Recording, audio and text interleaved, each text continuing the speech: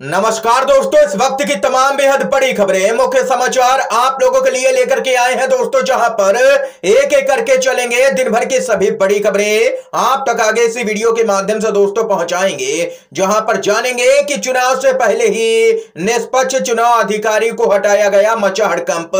विपक्ष हमलावर हो गया है, जानेंगे पूरा मामला, आखिर क्या कुछ है। इसके साथ ही दोस्तों, अयोध्या में बीजेपी की करारी हार तय है, सपा और कांग्रेस ने उड़ाई है नींद। नींद बीजेपी की इसके साथ ही दोस्तों खबर में विस्तार से बताएँगे कि फ्लोर टेस्ट से पहले ही ईडी को बड़ा झटका लगा है। कोर्ट से सोरेन को यहाँ पर बड़ी राहत मिलती हुई नज़र आई है। इसके साथ ही दोस्तों जानेंगे खबर में कि सुप्रीम कोर्ट के वकील जमकर के भड़के हैं। जज से लेकर के सरकार तक यहाँ पर हैरान। इसी प्रकार की तमाम बेहद बड़ी खबरें दोस्तों एक एक करके आगे इसी वीडियो में जानेंगे। खबरों की तरफ़ बढ़ने से पहले अगर आप लोग भी दोस्तों यही मांग करते हैं कि लोकतंत्र की रक्षा के लिए देश के अंदर पूरी तरह से निष्पक्ष चुनाव होना चाहिए। तो अब इस वीडियो को लाइक कीजिएगा दोस्तों और कमेंट बॉक्स में जय हिंद, जय भारत ज़रूर ही कमेंट कीजिएगा। जो पहली बड़ी खबर आ रही है, बताते चलें।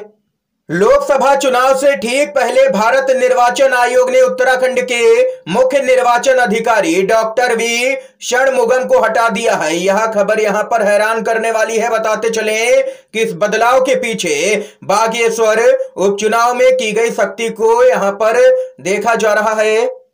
क्योंकि दोस्तों बताते चले, डॉक्टर वी षणमुगम की गिनती बेहद ही ईमानदार अफसरों में होती है। वो निदेशक रहते हुए यहाँ पर महिला बाल विकास मंत्री रेखा आर से सीधे यहाँ पर भिड़ गए थे। उन पर आज तक किसी भी तरह का कोई भी आरोप नहीं लगा है। और अब यहाँ पर उनको चुनाव आयोग की तरफ़ से उत्तराखंड के मुख्य निर्वाचन अधिकारी के पद से हटाया गया है। और अब चुनाव आयोग ने डॉक्टर बीवी आरसी पुरुषोत्तम को मुख्य निर्वाचन की यहाँ पर ज़िम्मेदारी दी है, यानी कि कुल मिलाकर के देख सकते हैं कि लोकसभा चुनाव से ठीक पहले ऐसी कार्रवाइयाँ यहाँ पर कई तरह के सवाल खड़े कर रही हैं। क्या यहाँ पर बीजेपी का दबाव है चुनाव आयोग पर? और अपने पसंदीदा अधिकारियों को ही यहाँ पर चुनाव आयोग में एंट्री की कोशिशें हो रही हैं। इसके साथ ही दोस्तों, खबर आ रही है, फैजाबाद लोकसभा और अयोध्या विधानसभा के कुछ आंकड़े सामने निकल के आए हैं, जिसमें यहाँ पर बताते चलें कि कांग्रेस और समाजवादी पार्टी दावा कर रही है कि इस बार बीजेपी की मुश्किलें बढ़ेंगी, क्योंकि आंकड़े ही कुछ इस तरह हैं। फैजाबाद लोकसभा और अयोध्या विधानसभा बीजेपी के लिए यहाँ पर वॉक ओवर नहीं है। आंकड़े बताते चले, अयोध्या विधानसभा 2022 के, जहाँ पर बीजेपी को मिले एक लाख तेरह हज़ार के करीबन वोट, जबकि समाजवादी पार्टी के उम्मीदवार को मिले हैं तिरानवे हज़ार के करीबन वोट, यानी कि कुल मिलाकर के कह लें तो यहाँ पर बीस हज़ार वोटों का कुछ अंतर है। और वहीं फैजाबाद लोकसभा चुनाव 2019 की बात करें, जहाँ पर बीजेपी को मिले हैं पाँच लाख उन्तीस हज़ार के करीबन वोट और समाजवादी पार्टी और कांग्रेस को मिला दें तो पाँच लाख सोलह हज़ार के करीबन वोट। अभी भी कुछ उम्मीद बाकी है। फैजाबाद लोकसभा में बीजेपी को हराया जा सकता है सपा और कांग्रेस के गठबंधन के द्वारा।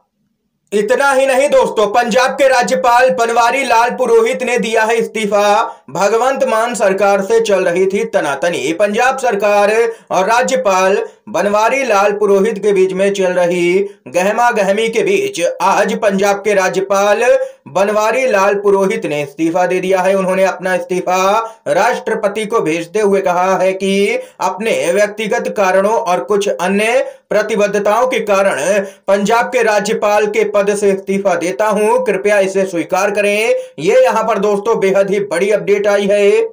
यूपी के अंदर कानून व्यवस्था का हाल बहुत ही खराब हो चुका है। यूपी के बदायूं में फंदे से लटकता मिला है महिला जज का सब मौके से मिला है सुसाइड नोट मचा हड़कंप। यूपी के बदायूं में सरकारी आवास में महिला जज ज्योत्सना राय का यहाँ पर सब फंदे से लटका हुआ मिला है इसकी जानकारी होने पर पुलिस प्रशासन में हड़कंप मच गया। मौके पर डीएमएसपी समेत तमाम बड़े अधिकारी पहुँच गए और मामले की छानबीन यहाँ पर की जा रही है। ये हाल है दोस्तों, यूपी के अंदर कानून व्यवस्था का। इसके साथ ही बताते चले आप लोगों को, झारखंड में ईडी को लगा है बड़ा झटका, बड़ी साजिश बेनकाब हो गई है बीजेपी की। फ्लोर टेस्ट में शामिल होंगे पूर्व मुख्यमंत्री हेमंत सोरेन। ईडी की विशेष अदालत ने दे दी है अनुमति। पीएमएलए स्पेशल कोर्ट ने झारखंड के पूर्व सीएम हेमंत सोरेन को विश्वास मत में भाग लेने की अनुमति दे दी है। ईडी की विशेष अदालत ने यह आदेश दिया है पाँच फरवरी को। चंपाई सोरेन सरकार विश्वास मत हासिल करेगी। बताते चले, पूर्व सीएम हेमंत सोरेन को फ्लोर टेस्ट के दौरान मतदान में भाग लेने की अनुमति देने के खिलाफ में ईडी ने याचिका पर जोरदार आपत्ति जताई थी। एक विधायक को फ्लोर टेस्ट मतदान में भाग लेने की अनुमति न देकर के सरकार को गिराना था, इसलिए यह पूरी कवायद दुर्भाग्यपूर्ण है। इतना ही नहीं, दोस्तों। उद्धव ठाकरे गुट के नेता संजय राउत का बड़ा बयान सामने निकल के आया है। संजय राउत बोले 2024 के चुनाव में कांग्रेस को कम से कम डेढ़ सौ सीटें मिलेंगी। ये यहाँ पर संजय राउत ने बेहद ही बड़ा दावा दोस्तों किया है। आप लोगों के अनुसार कांग्रेस पार्टी को देश भर के अंदर से कितनी सीटें मिल सकती हैं? आप लोगों की जो भी राय हो, कमेंट बॉक्स में ज़रूर ही बता सकते हैं। इसके साथ ही गोदी मीडिया का एंकर सुधीर चौधरी झुका है। जी हाँ दोस्तों एंकर सुधीर चौधरी ने आदिवासी समाज से माफ़ी मांगी है और टीवी पर आदिवासियों के खिलाफ में यहाँ पर जो उन्होंने टिप्पणी की थी, उसके लिए ये माफ़ी मांगी गई है, जिस पर उनकी लगातार गिरफ्तारी की मांग हो रही थी।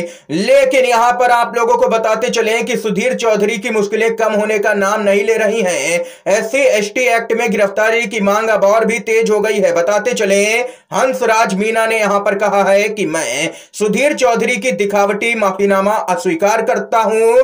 एस सी एक्ट के तहत इसकी शीघ्र गिरफ्तारी यहाँ पर बहुत ही जल्द की जाए, ये मांग हंसराज मीना ने कर दी है। यानी कि कुल मिलाकर के कहा जाए तो सुधीर चौधरी की मुश्किलें बढ़ती हुई नज़र आ रही हैं।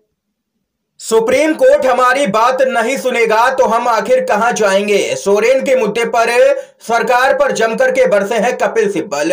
क्या कुछ है मामला दोस्तों? बताते चले। राज्यसभा के सांसद और वरिष्ठ वकील कपिल सिब्बल ने झारखंड के मुद्दे पर सरकार पर गंभीर आरोप लगाए हैं। उन्होंने कहा है कि मुझे लगता है कि भारत के इतिहास में ऐसा पहले कभी नहीं हुआ होगा, जब एक मौजूदा मुख्यमंत्री को गिरफ़्तार किया गया। सुप्रीम कोर्ट को हमें बताना चाहिए कि हम किन मामलों को लेकर के आ सकते हैं और किन मामलों को लेकर के नहीं। कपिल सिब्बल ने सरकार पर आरोप लगाते हुए कहा है कि ये सरकार नहीं चाहती है कि विपक्ष का मुख्यमंत्री रहे। और अब वे लोग ऐसा ही अरविंद केजरीवाल के साथ में कर रहे हैं। उनकी मंशा है कि डबल इंजन की सरकार रहे और विपक्ष की सरकार कहीं पर भी ना रहे। हेमंत सोरेन के खिलाफ अब दस और मामले दर्ज कर लिए गए हैं। इसका मतलब है कि वे जेल से बाहर ही नहीं आएँगे और आपको दो हज़ार चौबीस के चुनाव में फ़ायदा मिलेगा। अगर सुप्रीम कोर्ट हमारी बात नहीं नहीं सुनेगा तो हम आखिर कहाँ जाएँगे? कपिल सिब्बल ने ज़बरदस्त ये यहाँ पर बयान जारी किया है दोस्तों। इस समय की आज की तमाम बेहद बड़ी खबरें थी। मुख्य समाचार थे दोस्तों, जो हमने आप लोगों तक पहुँचाए। अगर आप लोगों को ये वीडियो पसंद आया हो तो अभी इस वीडियो को लाइक कीजिएगा दोस्तों। ज़्यादा से ज़्यादा इन खबरों को, मुख्य समाचारों को शेयर कीजिएगा अपने सभी दोस्तों में। और चैनल पर न है तो दोस्तों, चैनल को ज़रूर ही सब्सक्राइब कीजिएगा। वीडियो देखने के लिए आप सभी दोस्तों का बहुत बहुत धन्यवाद। जय हिंद, जय भारत।